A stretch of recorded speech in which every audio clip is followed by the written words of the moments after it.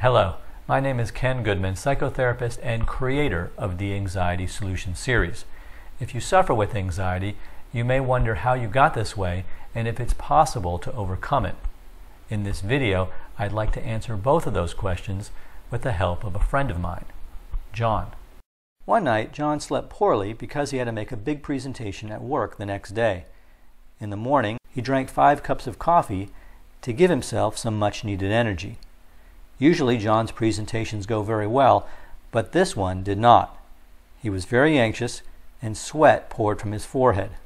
After the presentation, he went out to lunch with coworkers and drank more coffee to stay awake.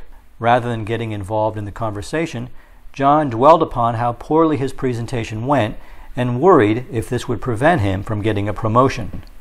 While eating his chicken, he wondered if it was cooked enough. He suddenly did not feel well and began to sweat. He then experienced something he had never experienced before racing heart, tightness in his chest, and difficulty breathing. He thought he was having a heart attack, but his symptoms subsided when he left the restaurant. What John had was not a heart attack, it was a panic attack, a truly frightening experience of mind and body. That night, John's wife suggested they go out for dinner, but he insisted on eating in. Because of the excessive amount of caffeine he drank that day, John slept poorly again. At the office, he had difficulty concentrating and worried he would not be able to get his work done.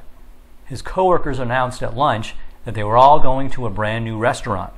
His boss told him, Grab your coat, I'll drive. But John stood there motionless. Think about John's situation for a moment. What do you imagine he was thinking as he stood there in the doorway? What do you think he was feeling? And what is your best guess as to what he might do? John's thoughts were most likely filled with the worries of the uncertainty of going to a restaurant. What if it happens again? What if I have a heart attack? What if I embarrass myself? What if they send me to a hospital? What if I'm demoted? This kind of what if thinking is very common for people with anxiety. While he stood in the doorway, he was most certainly feeling anxiety or fear.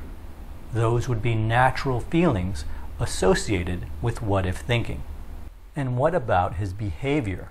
Well, he declined his boss's invitation and did not join his colleagues for lunch. This is avoidance, and it's the most common behavior associated with anxiety disorders. Thoughts, feelings, and behaviors all impact one another, and in John's case, each made the other worse. His belief that he must avoid restaurants to prevent panic caused anxiety each time he was invited out to eat. The more he avoided restaurants, the greater his fear became, and the greater the fear, the more he avoided restaurants. John stopped going to restaurants not only with his coworkers, but with his wife and friends as well. One night, while watching a movie on television, one of the characters got trapped in an elevator. John began to feel very anxious as he imagined that this could happen to him. His fear of restaurants soon generalized to any situation where he could be trapped or unable to get out quickly, including elevators, underground parking, freeway traffic, and amusement park rides. John's world became smaller and smaller as he avoided more and more of life. And this was very depressing for John and the people that loved him. How does this story end?